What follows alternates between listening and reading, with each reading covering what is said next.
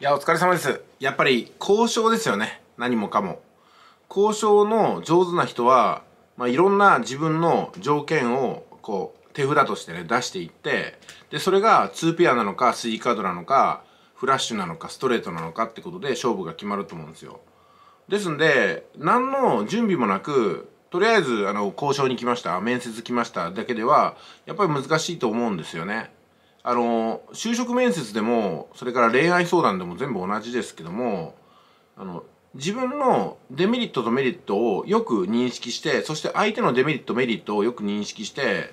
自分は相手のデメリットに対して嫌味なくね迫っていくことと自分は自分のメリット有利な点をしっかりと提案して私にはこういう選択肢があるんで、えー、特にあの焦っていませんと。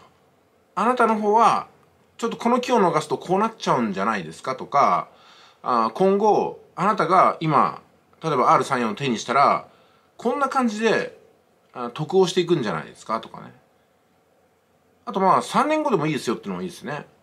3年後に買い付けに来たらもうすでに売れていたって可能性も高いですし、売るのはやっぱりちょっと気が変わったんですよって言われてもいけないですしね。そういうのを様々考えていくときに、やっぱりあれですよね。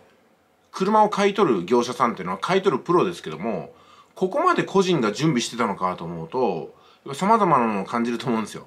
R34 への愛情とかね、きちんと相場を見ていたこととか、で、相場から外れて、しかも、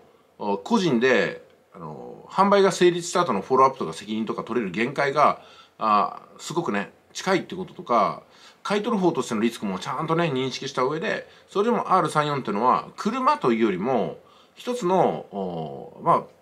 骨董品といいますかね。美術品というかもうすでに車としての価値を逸脱してるわけですよこれは。希少性であったり話題性であったりね人気であったり。移動手段としての価値ではないんですよね今ね。そうなると走行距離っていう概念もだんだん変わってくるかなと思いますし。うんまあなんだったら動画の方を見ていただければどのぐらい、えーね、整備したのか分かりますよとか乱暴な乗り方したかどうかもちゃんと裏付け取れますよっていうふうなのを交渉の手札として中古車を買いに来た人が個人で所有してる人がね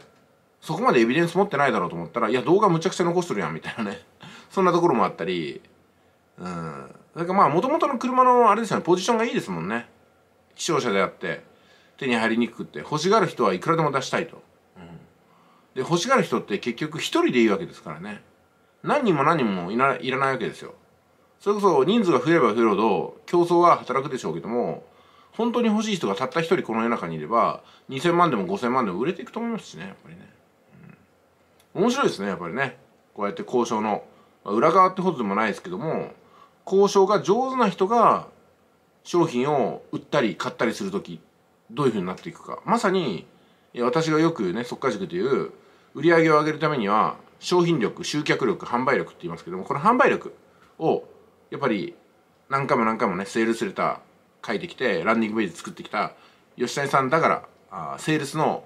やっプロフェッショナルだからこそできる。これもだからヒルズ塾のヒルズ何？カンパニー？以前いた吉谷さんの会社の結局賜物でしょうね。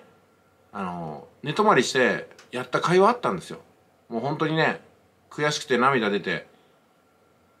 いろんな不条理を感じて借金まで負わされてでも全部が今帰ってきてますよね。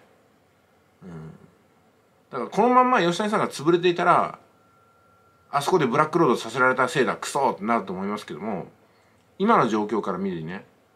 あの過酷な日々も全部が宝物だったのかなというところで、やっぱりね、ネオヒルズの、あの、一見まともじゃない人材育成っていうのは的を射ていたということじゃないですか。つまり的を射たわけです。いってらっしゃい。